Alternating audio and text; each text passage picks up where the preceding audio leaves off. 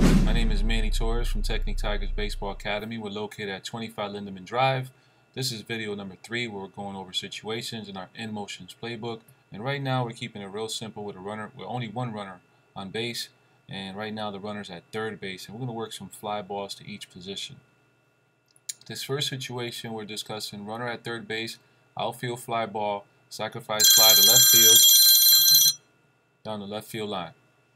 Okay, so now, in a previous video we discussed that when a ball is hit to this side of the field, left field side, that the third baseman was responsible to be the cutoff. We also discussed in the previous video that if the ball hit the center field, that the first baseman is going to come across the diamond and become the cutoff guy there. And also, when the ball hit to right field, the first baseman also just drops into his box. So the first baseman is responsible for right field, sorry, right field and center field belong to the first baseman.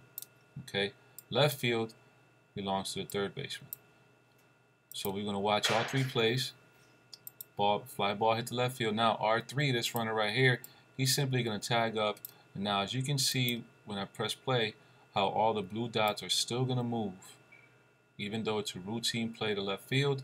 Here's the fly ball. Here, there's the third baseman going to get into his spot so that he can be the cutoff guy. And you got shortstop. Shortstop vacates his position to go cover third base.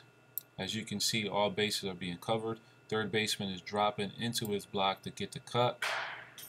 And right now we're working on R3. And of course, left field, third base, and catcher once again created a straight line down the chute. As you can see the red line all the way to the catcher. And of course you got your pitcher backing up home plate. That's the left field.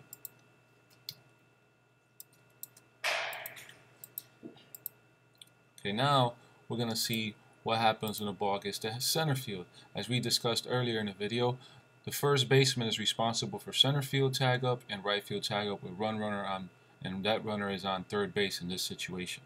So we're just going to run through this pretty quick. As you can see, fly ball hit to right field to center field. Center fielder gets underneath it. As you see, the first baseman already saw that it was a fly ball up in the air. Center field, he got across to the center of the diamond.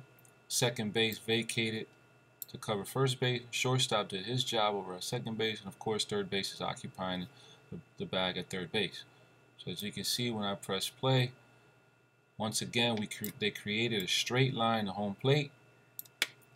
And the communication is between the catcher and the pitcher. Now, as I've discussed in previous videos, if this ball is a little to the right, if, if this ball is a little to the right of the first baseman, or a little bit to the left of the first baseman, that first baseman instinctively should cut that ball off because it's offline.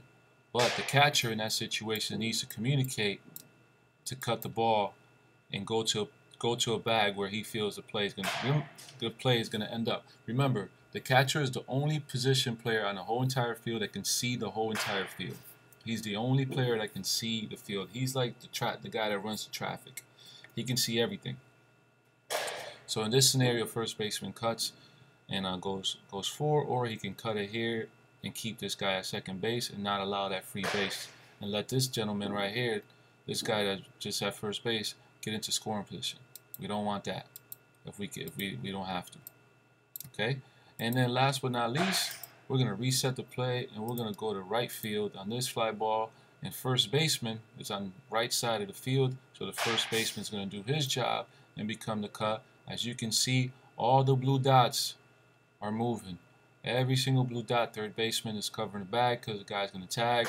And everybody's starting to move to create their lines and right field is looking up to find his first baseman and inside of his block, creating a straight line to the catcher. And as you can see, once again, from where the ball started to where the ball ended, the guys created a straight line, and then of course, you got your pitcher back here backing up on an overthrow.